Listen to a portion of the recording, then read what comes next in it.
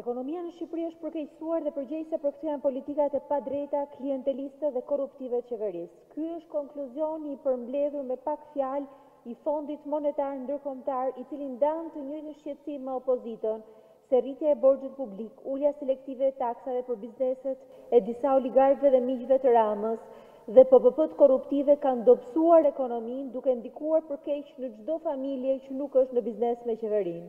Në mënyrë të përsëritur, Partia Demokratike ka faktuar se në qeverinë Rama rritja ekonomike është në mëshirën e reshjeve të shiut. Këtë tregoi dhe raporti i fundit, që parashikon këtë vit rënie të rritjes ekonomike si rezultat i thatësirës. Borxhi i lartë publik është një faktor në dobësimin e ekonomisë dhe po ndiqet me shqetësim si nga fondi ashtu dhe nga opozita. Që në fillim ne kemi ngritur zërin se përdorimi i keq i borxhit të ri të marrë nga qeveria në investime që nuk kanë ndikim pozitiv në ekonomi, si dhe mungesa e investimeve të huaja janë bërë pengesë për rritjen ekonomike.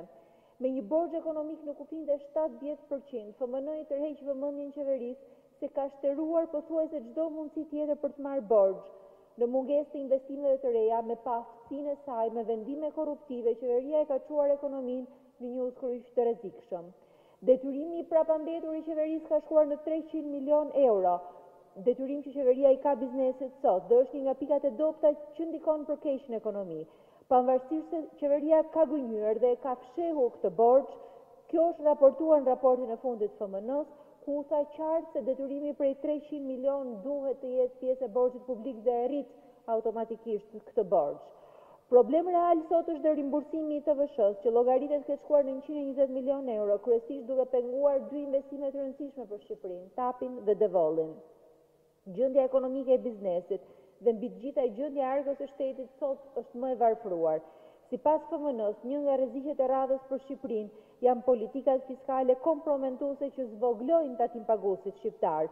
Ajo e paralajmërojnë qeverinë se një politikë fiskale me qoka karshi oligarkëve është e dëmshme për ekonominë.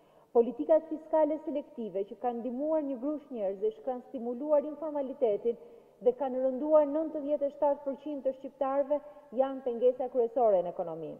Ne i kemi denoncuar politika të tilla, që fillojnë që nga akciza mbi plastikën, paketa selektive e turizmit që dëmton rëndë biznesin e vogël familjar dhe deri tek taksa shtesë mbi rërën bituminoze të cilat janë qartësisht në ndihmë të një ose disa bizneseve. Koncesionet dhe PPP-të korruptive ishin një tjetër element negativ i evidentuar nga FMN-ja. Ndryshe nga sa propozon qeveria, PPP-të e shumta pa ndikim pozitiv në ekonomi kanë krijuar një rrezik të vazhdueshëm për buxhetin e shtetit. Investimet në infrastrukturë dhe që hapin vende pune dhe nxisin ekonominë janë çdo vit e në rënie, sepse qeveria paguan një pikë shtatë miliardë euro, ose trembëdhjetë për qind të produktit të brendshëm bruto, për faturat e PPP-ve.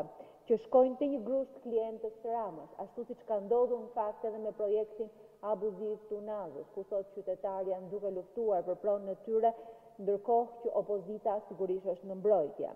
Një tjetër ligj klientelist dhe aspak dobiprurës për xhepat e shqiptarëve është dhe ligji i Korporatës së Investimeve.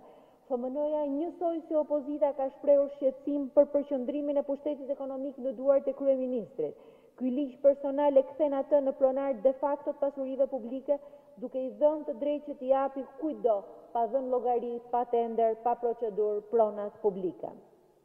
Diagnoza që FMN-ja ka për ekonominë shqiptare është se ajo vuan nga një sëmundje e rrezikshme. Është një ekonomi që pasuron një grusht njerëzish pranë pushtetit, që punon për pakicën, dhe jo për shumicën e kjo vihet re dhe sot në konfliktin që po ndodh në këto momente tek Astiri. Kura e vetme për këtë situatë është beteja e sinqertë përballë oligarkisë dhe qeverisë që ka prodhuar këtë gjendje. Partia Demokratike është e vendosur që ta vazhdojë këtë betejë dhe ta çojë deri në fund. Alternativa jonë për shqiptarët është konkurrencë e lirë, mundësi të barabarta për të gjithë, duke aplikuar taksa të ulëta dhe duke krijuar një klimë miqësore për biznesin. Faleminderit.